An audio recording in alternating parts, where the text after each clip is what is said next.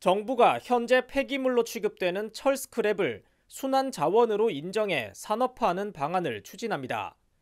철 스크랩이 폐기물 관리법상 폐기물에서 제외되도록 관계 부처와 협의하는 한편 제조업과 같은 기업 활동을 지원하기 위해 법령 정비도 검토하기로 했습니다. 철강 산업의 핵심 과제를 할수 있는 철강 전 공정의 저탄소화에도 박차를 가합니다. 고로나 전기로의 탄소 감축을 위한 저탄소 원연료 대체와 고효율 전기로 등의 기술 개발에 2030년까지 약 2,400억 원을 투입합니다.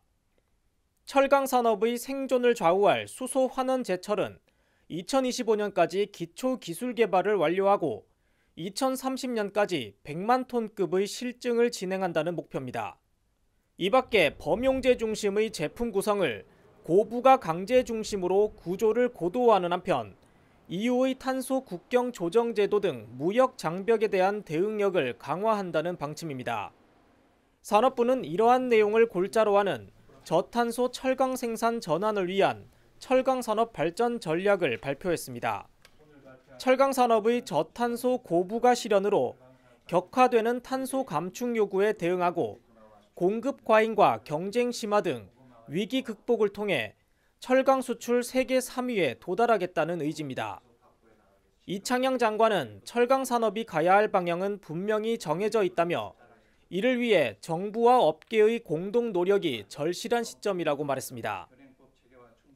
탄소 다배출 산업에서 친환경 산업으로 그리고 범용제 위주 생산에서 고부가 제품 생산으로 환골 탈태를 해야만 할 것입니다.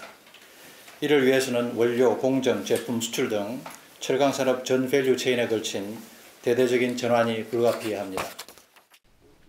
한편 산업부와 철강 업계는 저탄소 철강 생산과 관련한 민관 협력 강화를 위해 업무 협약을 체결하고 1,500억 원 규모의 펀드를 조성하기로 합의했습니다. 채널I 산업뉴스 이창수입니다.